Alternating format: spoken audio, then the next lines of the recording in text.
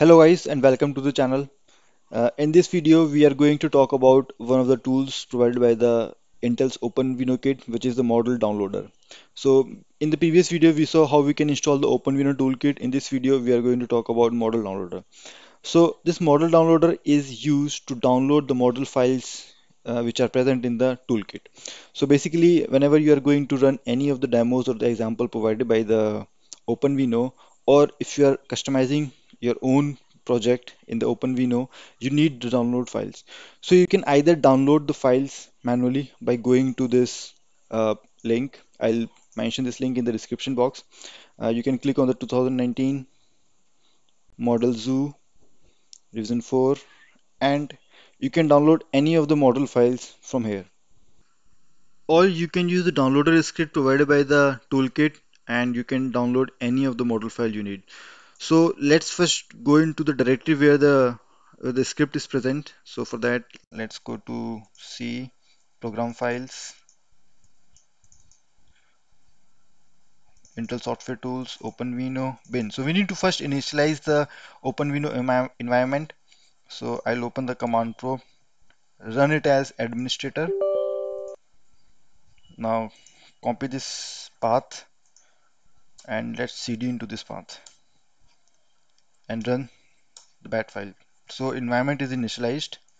Now we need to go into the directory where the script is present. So for that, deployment tools, tools, uh, model downloader, and you can see here this is the script which we need downloader.py.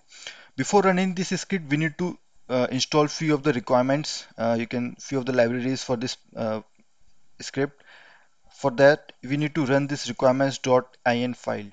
So as you can see here in this page, it's also mentioned that we need to run this command in order to install few of the recommend requirements.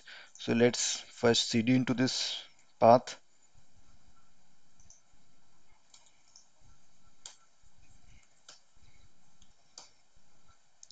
Okay. Now we will run this command you need to make sure your python is uh, set up properly. Otherwise this command will not run.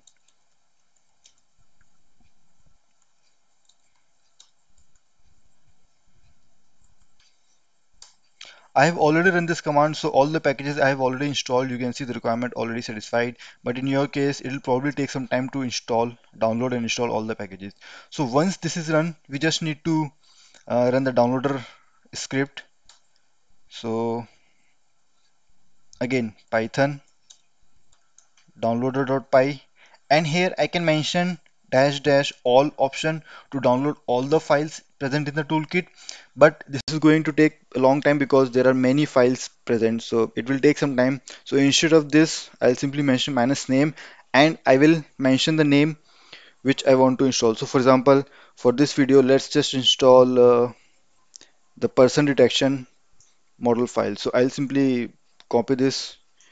You can use any other model you want and simply paste it. And this will start downloading the model file. Uh, there is also an option of specifying the output directory where this model file will be saved. Uh, but let's just simply go with the default options. So it has installed sorry it has installed uh, download the model file.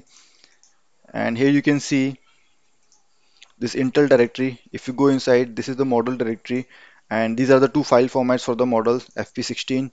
This is the person detection model and again in FP32 this is also the person detection model. So in this way you can you can use the model downloader file to download any file or any model file you need for your project or you can either go into this link and manually download the files. So that is all for this video. Uh, in the later videos we will run the examples provided by the toolkit and we will see how inferencing happens in the open OpenVINO. So thank you for watching this video. Please like, share and subscribe to the channel.